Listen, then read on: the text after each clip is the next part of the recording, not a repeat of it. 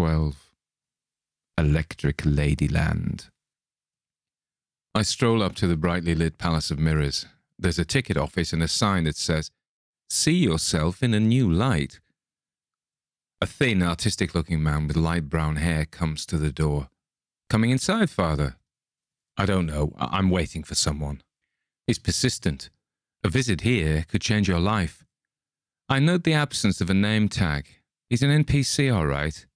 As if noticing my scrutiny, he says, I am Jean Cocteau. One day I'll make movies, but now I merely infiltrate dreams. You infiltrate dreams? How so?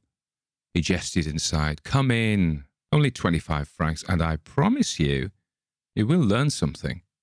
A golden goblet pops into existence above his head. Jean Cocteau offers you the quest of mirrors. Do you accept?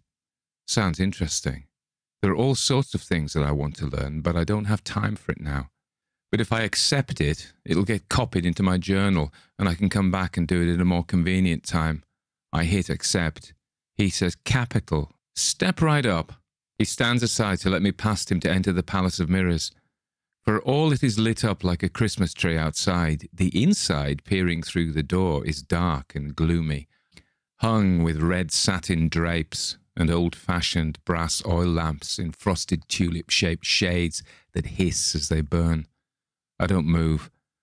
I don't have time now, I say.